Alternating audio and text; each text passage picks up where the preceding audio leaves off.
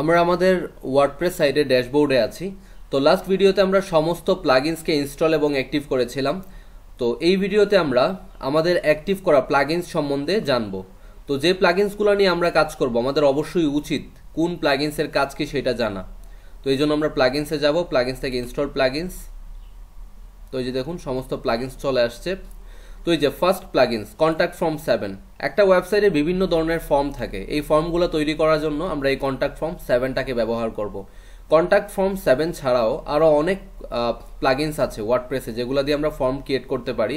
তো আমরা আমাদের এই প্র্যাকটিসের জন্য ব্যবহার করব কন্ট্যাক্ট ফর্ম সেভেনটাকে তারপর হচ্ছে এলিমেন্টর এটা একটা বিল্ডার আমি এডিটরও বলে থাকি।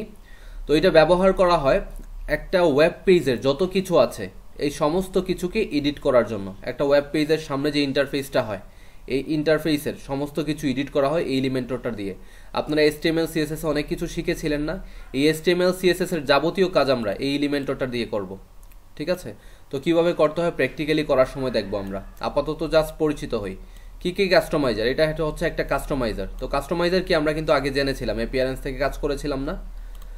ওকে তারপর হচ্ছে মেল চিম্প এটা হচ্ছে একটা ওয়েবসাইটের সাইন আপ প্রসেসের জন্য, নিয়ে আসার জন্য ব্যবহার করা হয়। তো এইটা আমাদের আপাতত লাগবে না, তো এটা আমরা কেটে দিব, ঠিক আছে?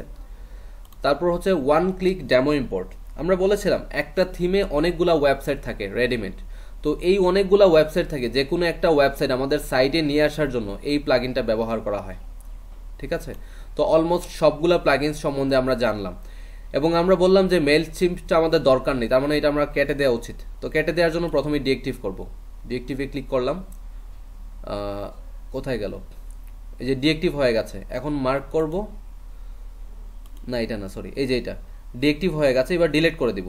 ডিলেটে ক্লিক করব ওকে তো দেখুন, হয়ে গেছে আমাদের কাজ। তো এই জায়গায় দেখাচ্ছে যে the following recommend plugin is currently in inactive Mailchimp for WordPress বর্তমানে তো ডিলিটই করে দিয়েছি। সমস্যা নেই, এটা আমাদের লাগবে না। এটা দেখাইলেও প্রবলেম না। এই নোটিশটা আসলে আমরা কেটে দিব। তো একটা জিনিস আমি সবসময় ফলো করি যে যে প্লাগিনস এবং থিমগুলো আমার দরকার নেই, ওইটা আমার সাইডে রাখার দরকার নেই, ঠিক আছে? যেটা দরকার নেই, ওইটা আমি কেটে দিব।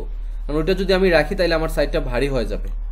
তো বর্তমানে আমাদের কি কি আছে? কন্ট্রাক্ট ফর্ম সেভেন এলিমেন্টর কি কি customizer one click demo import that's enough okay next video থেকে আমরা এই যে একটা ওয়েবসাইটকে ইম্পোর্ট করব ইম্পোর্ট করে কাজ করব, সেই পর্যন্ত ভালো থাকবেন, ধন্যবাদ।